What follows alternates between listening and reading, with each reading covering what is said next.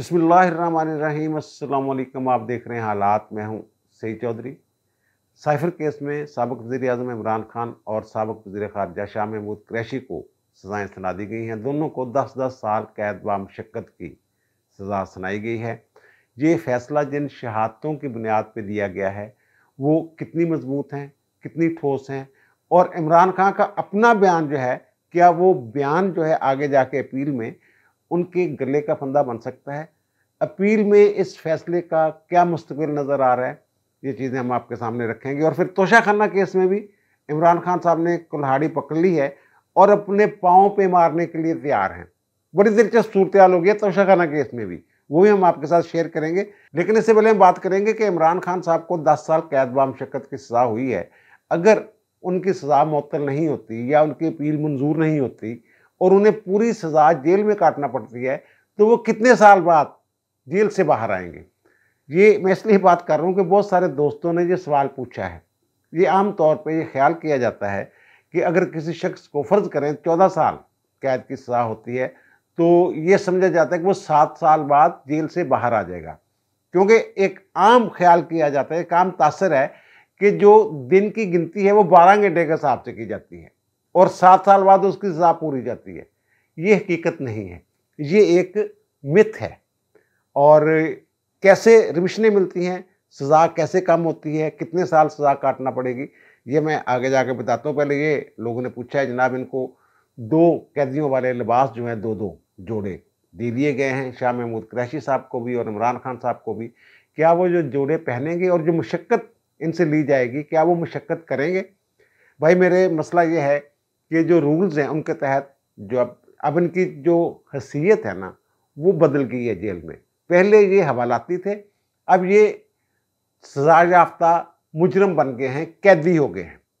अब रूल्स के तहत इन्हें जेल का जो लिबास है, वो पहनना पड़ेगा। पहनना चाहिए, पड़ेगा के बजाय पहनना चाहिए। और फिर जो मुशक्क़त है, मुशक्क़त की मुख्तलिफ़ इकसाम है, जो जान दी जाती है।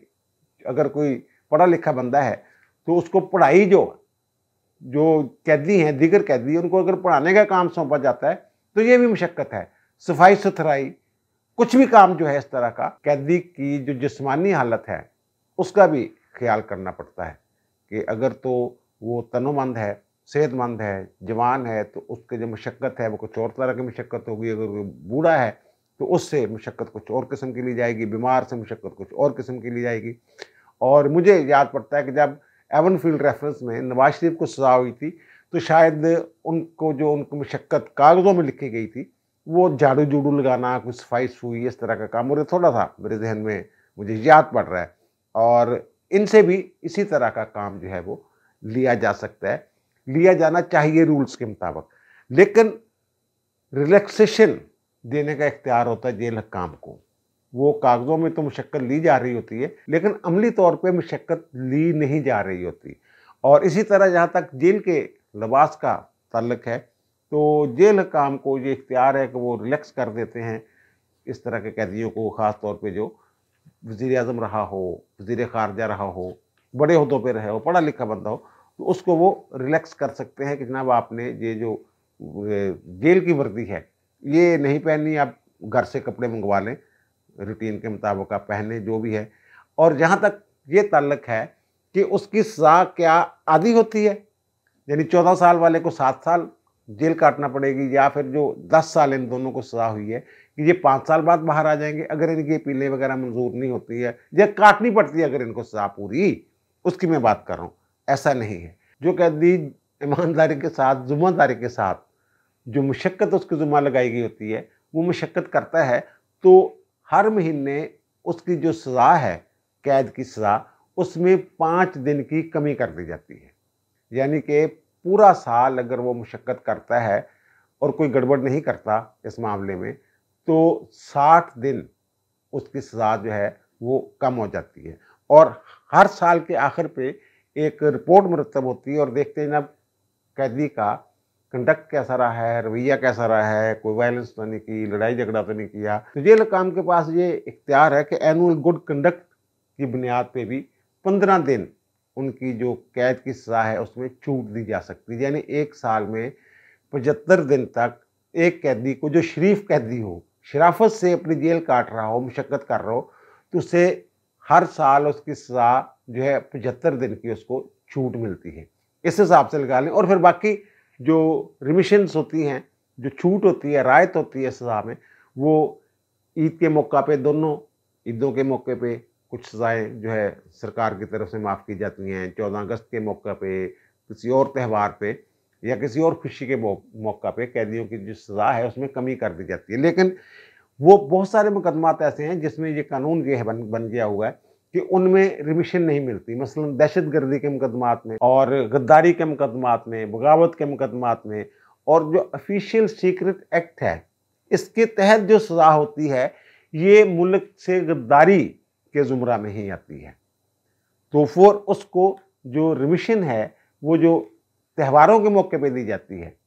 ईद पे और चौदह अगस्त वगैरह के मौका पे, तेईस मार्च को बाज़ात अगर हुकूमत का मूड हो तो वो सज़ा माफ़ कर दी जाती है कुछ दिन के लिए। तो वो नहीं मिलती। यानी इनको अगर ये पूरी सज़ा करते हैं तो जो त्यौहारों पे रिमिशंस होती हैं, उसके ये हकदार नहीं हैं। इमरान खान और शाह महमूद क्रैशी साहब बाकी जो दो दूसरी चीज़ें मैंने बताई हैं कि मशक्क़त करें और फिर हर महीने पाँच दिन की छूट और साठ दिन ये हो गए पूरे साल के और फिर पंद्रह दिन जो है वो अच्छे करेक्टर की वजह से जो छूट है वो हर साल पचहत्तर दिन की। तो ये मेरे आप हिसाब लगा लें कि कितने साल इन्हें जेल में काटने पड़ेंगे। मेरा ख्याल है कि आठ साल, सात साल और ग्यारह माह इतनी सज़ा बनती है। लेकिन वो जेल वाले जो साहब थे, जिनसे मेरी बात हो रही थी, उन्होंने कहा था, साढ़े छः सात साल बनती अंदाजन उन्होंने बताया। लेकिन अगर ये साहब लगाएँ, जो मैंने फार्मूला बताया, उस हवाले से सात साल और ग्यारह माह के करीब, यानी इनको पच्चीस महीनों की रिमिशन मिलेगी इस फार्मूले के तहत।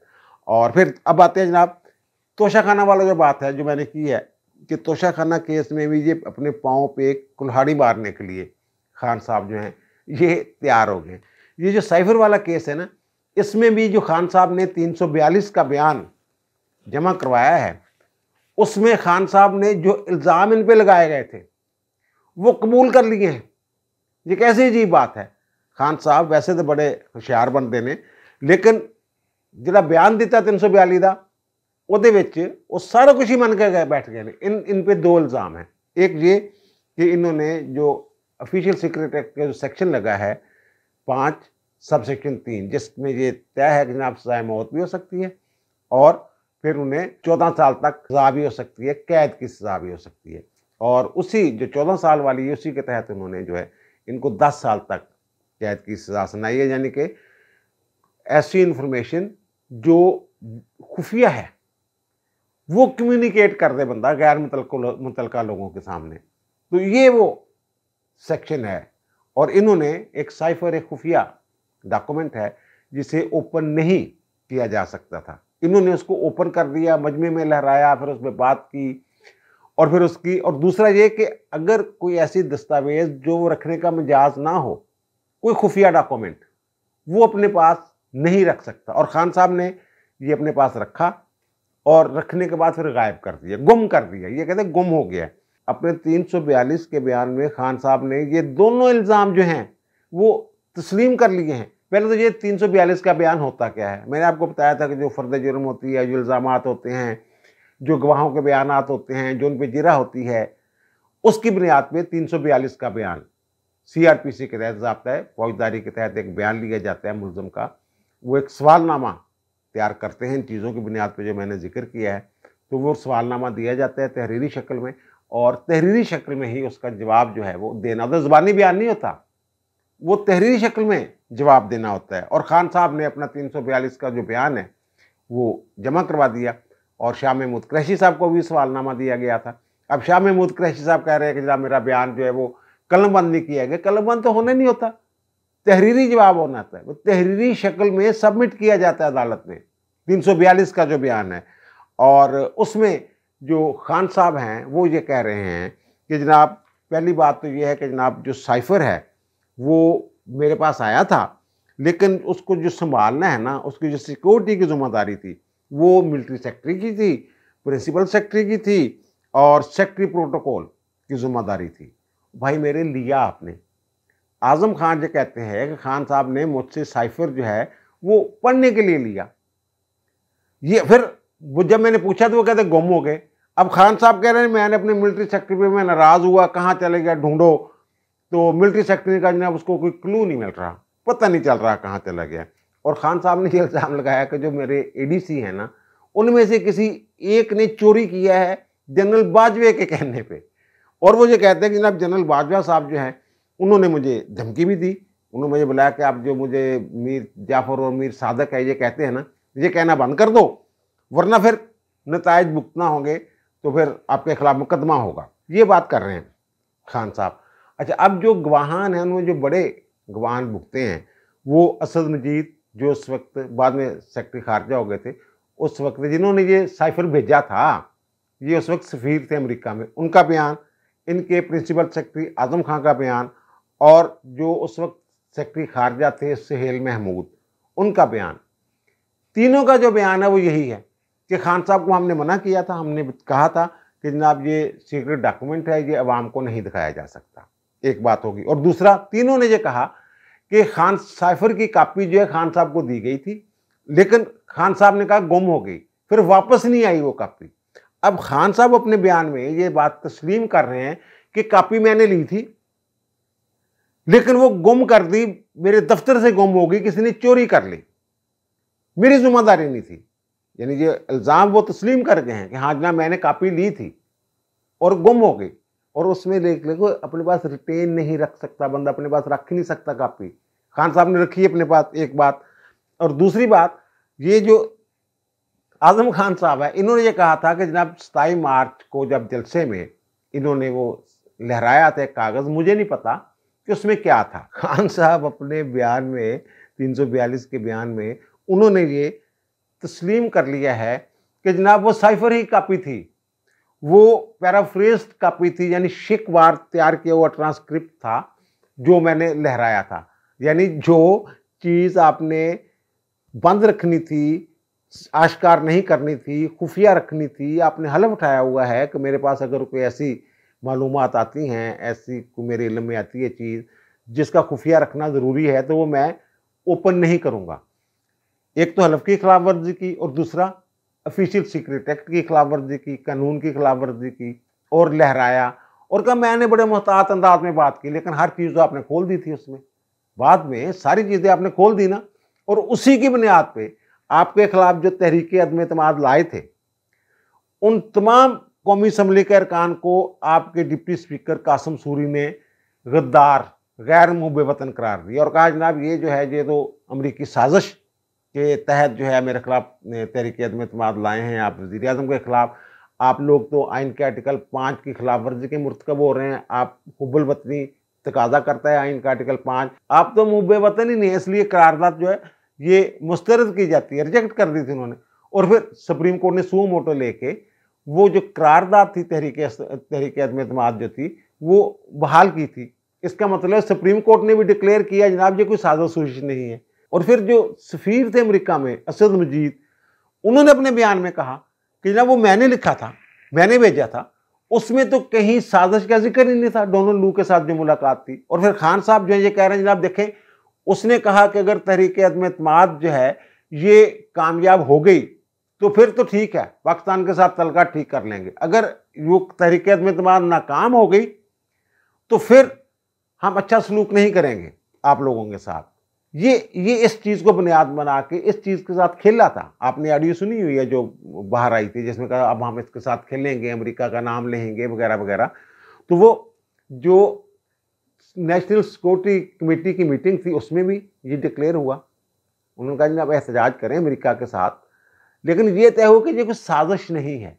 और ये कह रहे हैं कि जनाब देखें, मेरे खिलाफ आगे ना तरीके अतमाद और भाई, मेरे तरीके अतमाद का ऐलान इससे कई हफ़्ते पहले कर चुकी थी। जो अपोजिशन थी उस वक्त पीटीएम वगैरह और पीपल्स पार्टी वगैरह कि जनाब आप, हम आपके खिलाफ तरीके अदम ला रहे हैं और वो तैयारियाँ शुरू थी।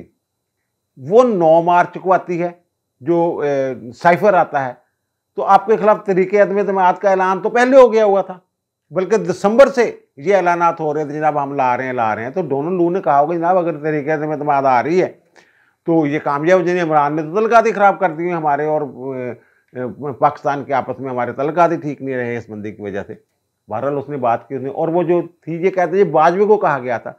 जो सहेल हैं, सेक्रेटरी सहेल महमूद सेक्रेटरी खारजा थे, वो कहते थे साइफर मेरे नाम पे आया था। और फिर मैंने कानून के मुताबिक उसको, उसकी कैटेगरी बनाई कि ये किस कैटेगरी में आता है, ए, बी, सी, जो भी है, उस कैटेगरी में रखा। फिर जो मुतल अफसर था, उसको मैंने कहा, जनाब, इसको डी कोड करो। अब खान साहब जो कह रहे हैं कि पैराफ्रेज कापी मेरे पास थी, यानी शिकवार उसका जो तर्जमा किया हुआ था डी कोड किया हुआ था उसको, अगर भाई मेरे किसी के हाथ वो लग जाता है, अगर साइफर टेलीग्राम की जो कापी है वो किसी के हाथ लग जाए तो वो कोड वर्ड्स में होती है, पढ़ी नहीं जा सकती। लेकिन अगर उसका तर्जमा साथ पड़ा हो, वो तो फ़ौरन पता चल जाएगा, जनाब ये किस, ये जो कोड हैं, वो तो कोड ही ओपन हो जाएँगे। पूरी दुनिया में आपने पाकिस्तान का जो सफारती सिस्टम है, उसको नंगा करके रख दिया।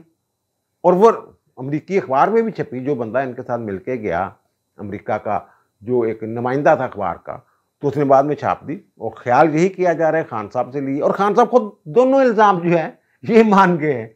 और अब ये कह रहे हैं, जनाब, हम सब इस्लामाबाद हाई कोर्ट जा रहे हैं, अपील कर रहे हैं। भाई मेरे ये एक जो कहते हैं जल्दबाजी की जज ने और ये किया, वो अबुल हसनात मोहम्मद करनैन पे इल्ज़ाम है। चलो ये प्रोसीजरल डिफेक्ट है, फ़र्ज़ कर लें प्रोसीजरल डिफेक्ट है। खान साहब का जो अपना बयान है, इकबाली बयान, उसको कहाँ लेके जाएँगे? ये 342 का जो इनका बयान है, वो रिकॉर्ड पे आ गया हुआ है ना, और उसमें दोनों इल्ज़ाम तस्लीम कर रहे हैं। जब आज़म खान के साथ जफियाँ डाल रहे थे ना ये, थपकी दे रहे थे वाजी वाह वाह, क्या आप उस दिन भी मैंने कहा था कि खान साहब को अगर इतनी फहम हो तो ये जेल में ना हो। उनका बयान इनके खिलाफ था।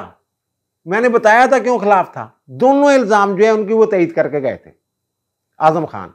और आज़म खान से भी आगे बढ़ के उन्होंने खुद अपने पाँव पे कलाड़ी मारी के जनाब, वो जो साइफर ही की कापी थी, शिकबार तर्जमा किया हुआ था जो मैंने लहराया था, ये एक तयशुदा कानून है। अदालतों के दर्जनों फैसले हैं। और कह लें कि मुतफ़ा फैसले हैं कि जनाब, जो प्रोसीजरल डिफेक्ट होता है, उसकी बुनियाद पे किसी फैसले को, लोअर कोर्ट के किसी फैसले को कलदम नहीं किया जा सकता। अगर ट्रायल कोर्ट जो है, उसने नतीजा दुरुस्त अखज किया है, सही नतीजे पे पहुँची है तो प्रोसीजरल जो डिफेक्ट है, जो खामी है तरीक़ाकार की, उसको नज़रअंदाज कर दिया जाए। बहुत सारे मामला में ऐसा होता है। वो बहस लंबी हो जाएगी अगर मैं बताने लग जाऊँ। तो ये प्रोसीजरल अगर डिफेक्ट है भी तो प्रोसीजरल डिफेक्ट खान साहब ने किसी भी जगह ये नहीं कहा, कैसी जी बात है? इन्होंने जो तरीक़ाकार है अदालत पे, उस पर तो इतराज़ात करते रहे हैं।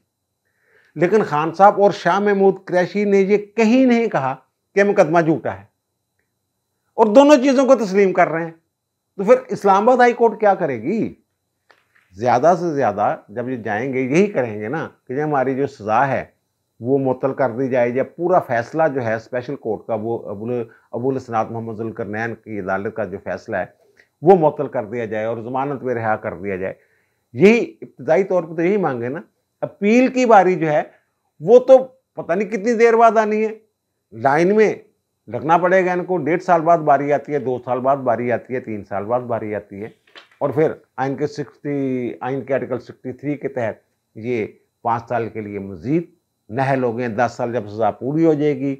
उसके बाद मज़ीद पाँच साल ये नहल रहेंगे असम्बली की रुकनीत के लिए, अवामी अहदे के लिए, यानी पंद्रह साल के लिए कम अज़ कम समझा जाए कि खान साहब जो है, ये नहल हो। गए इनकी अपील में अगर तो सियासी केस के तौर पर लेती है अदालत, जैसा कि आमतौर पर इस्लामाबाद हाई कोर्ट में कुछ जजेज़ हैं कि खान साहब के मुकदमात को इसी अंदाज में लेते हैं तो तो फिर तो मे भी जल्द दिन की ज़मानत है। लेकिन इसे इकबाली बयान, मैं इसको इकबाली बयान कह रहा हूँ बार बार खान साहब का तीन सौ बयालीस का जो बयान है ना, मैं इसको इकबाली बयान कह रहा हूँ। ये दोनों इल्ज़ाम जो हैं, वो तस्लीम कर गए हैं। लेकिन डाल किसी और पर रहे हैं कि भाजपा की साजिश थी, आईएसआई को इस्तेमाल किया, वही जो बाहर बयान दिया था, वो सुप्रीम कोर्ट का फैसला भी आ चुका हुआ है कि जनाब ये जो तहरीक अतमाद है, ये कोई साजिश सूजिश नहीं है, इसकी आप गिनती करवाएँ। और जो नेशनल सिक्योरिटी कमेटी है, उसकी फाइंडिंग भी आ चुकी हुई है कि ये कोई साजो सूजिश नहीं है।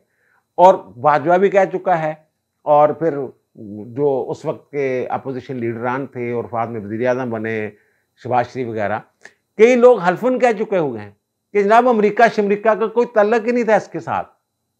अगर था भी तो ऑफिशियल सीक्रेट एक्ट के तहत आप इसको खुफिया रखने के पाबंद थे। या तो इसको आप करते डी क्लासीफाई करते अगर डी क्लासीफाई करना था तो 27 मार्च 2022 से पहले करना था। आप 8 या 9 अप्रैल को एक इजलास करते हैं और उसमें ये कहते हैं, जनाब, इसको डी क्लासीफाई कर दिया गया कुछ लोगों के लिए। वो उसमें एक सुप्रीम कोर्ट में भी आपने एक खत के साथ वो भेज दी थी और फिर कासम सूरी को भी, स्पीकर को भी, पता नहीं कहाँ कहाँ आपने भेज दी थी। वो आपने कह दिया डी क्लास पहले करना था। आप तो अवाम को दिखा रहे हैं, लोगों को। पहले जुर्म आप पहले कर चुके हुए थे और तस्लीम कर गए हैं तो फिर मुझे तो नहीं लगता कि जनाब इसमें कोई सिर्फ़ इस बुनियाद पर जनाब प्रोसीजरल कोई गलतियाँ हैं, तरीक़ाकार की गलतियाँ हैं, या तेज़ी दिखाई है अदालत ने, इस बुनियाद पे जो इनका जो अपील है, मंजूर हो जाए, ज़्यादा से ज़्यादा ये हो सकता है कि अगर अदालत समझे, सियासी मामला बना के जैसे मैंने अर्ज़ किया है तो इसको जब बारी आएगी अपील की, उस वक्त की बात कर रहा हूँ तो इसको प्रोसीजरल डिफेक्ट की वजह से कहते हैं, दोबारा सुन लो, यार ये गलतियाँ हो गई हैं, दोबारा कर लो। लेकिन पहले भी जो गलतियाँ होती थी, ये तो हर गलती में जाते रहे आपको याद है, हर गलती में जाते और मैं कहता था ये गलत कर रहे हैं। और वहाँ ठप्पा लगवा के वापस आ जाते थे। फिर दोबारा वो गलतियाँ करते ही नहीं थे। दोबारा नए सिरे से ट्रायल शुरू कर देते वो जो खामियाँ थी जिनकी बुनियाद पर ट्रायल की कार्रवाई कलदम होती रही है वो उसको दोबारा वो गलतियाँ साइड में रख के नए सिरे से पक्का काम डाल देते थे। अब खान साहब जो है, ये भूल जाएँ और दूसरी बात ये है ना, जो मैंने कहा, जेल में रायत और जो मिल मिल जाती है, कोई रिलैक्सेशन वगैरह, वो मिलती है किसी, अब यार मसला सीधा सीधा ये है। इन्होंने फौज को किया गंदा। इन्होंने कहा, जनाब, ये मीर जाफ़र हैं, मीर सादक हैं, जो फौज है हमारी। और बाजवा साहब को और फिर न्यूट्रल फिर गालियाँ जो जो कुछ भी कहते रहे, और तमाम अपोजिशन जो इनकी थी असम्बली के अंदर, वो तमाम गैर मुहब वतन, गद्दार, सब पे इन्होंने इल्ज़ाम लगाया। खान साहब खुद मीर जाफ़र और मीर सादक डिक्लेयर हो चुके हैं इस केस में। अगर वो जो कहा था बाजवा ने कि जनाब आप मीर जाफ़र और मीर सादक कहना बंद करें फ़ौज को, या फ़ौज के अला काम को, या फ़ौज के सरबराह को, वरना आपके ख़िलाफ़ मुकदमा हो सकता है, सज़ा हो सकती है तो फ़ौज के ख़िलाफ़ प्रोपोगंडा करना, फ़ौज को सासी कहना, फ़ौज को गद्दार कहना, फ़ौज के सरबराह को गद्दार कहना, मीर जाफ़र, मीर सादक कहना, क्या ये जुर्म नहीं है? उन्होंने ये बात की होगी, खान साहब तुझे गल्ला कर दो थोड़े गला मुकदमा हो जाना। फिर बाद पछताओगे। बहरहाल, और दूसरी बात, जो तोशा खाना वाली बात है, कि जैसे मैंने कहा ना, यहाँ, ये खान साहब जो हैं, वो डेढ़ शेयरी करते, पकड़े गए हैं। और ख़ुद ही इकबाल जुर्म कर गए और दोनों इल्ज़ाम जो हैं वो तस्लीम कर लिए तोशा खाना केस में भी खान साहब इसी तरह फंसने वाले हैं। खान साहब, वहाँ इनकी वो जिरा का जो हक है, वो ख़त्म कर दिया क्योंकि रोज़ ही वकील बदल लेते थे खान साहब, मोहम्मद बशीर साहब जो हैं उन्होंने। तोशाखाना केस में इनका जिरा का हक जो है वो ख़त्म कर दिया और इनको जो 342 का बयान है, वो 25 सवाल जो हैं वो बुशरा बेगम को दिए। बुशरा बेगम ने उनका जवाब दाखिल करवा दिया और ख़ान साहब को सताईस सवाल दिए। और उनका जवाब जो है खान साहब ने जमा करवाना है। और ख़ान साहब कह रहे हैं वहाँ कि जनाब देखें, मैं खुद जिरा करना चाह रहा था। आपने हमारा जिरा का ख़त्म कर दिया तो क्या आपने आज ही सजा देनी है? तो उन्होंने कहा, नहीं जनाब, आप परेशान ना हो खान साहब। और मोहम्मद बशीर साहब जो उनकी तबीयत तरह नसाज होगी तो फिर वो उसकी जो समात है केस की, एक दिन के लिए मुलतवी कर देगी, यानी आज इकतीस जनवरी को उसकी मज़ीद समात होगी। और खान साहब का जो बयान है, तीन सौ बयालीस का वो सबमिट किया जाएगा इनकी तरफ़ से। और फिर जो उनका जो आपके, अपनी सफ़ाई में कुछ शातें लाना चाहते हैं तो वो भी लिस्ट दे दें, वो भी सुन लेते हैं। अखे बुशरा बीबी भी एक सूर है, उसके इस केस से कोई ताल्लक नहीं है। दूसरे लफ्ज़ों में, ये सारा किया दरा मेरा अपना है, खान साहब ये फरमा रहे हैं। अब जो मैं कह रहा हूँ खान साहब अपने पाँव पे कलहारा मारने के लिए खुद ही तैयार हो गए हैं। तो वो देखें ना, मेरे खिलाफ झूठे गवाह बयान किए हुए अब मैं कह रहा हूँ खान साहब अपने पाँव पे खुद ही कलहाड़ा कैसे मारेंगे? अब तो शाखाना केस में इनके खिलाफ क्या इल्ज़ाम है? कि इन्होंने जो कीमत लगाई तहाइफ की, वो इंतहाई कम लगाई।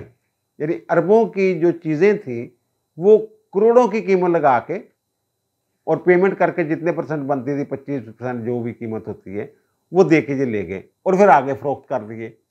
और इनको पता भी चल गया जनाब, आगे महँगे बिके हैं। जो भी, यही इल्ज़ाम है ना बस। अब खान साहब ये खुद कह रहे हैं जो बयान देना चाह रहे हैं ये, जिरा के दौरान। ये कहते हैं, मैं नंगा करना चाहता हूँ इनको। मैं इनके चेहरे से, झूठों के चेहरे से निकाब उतारना चाहता हूँ। मिलिट्री सेक्रेटरी से झूठ बुलवाया गया। मिलिट्री सेक्रेटरी तोशा खाना के मामला तो वही देखते होते हैं ना?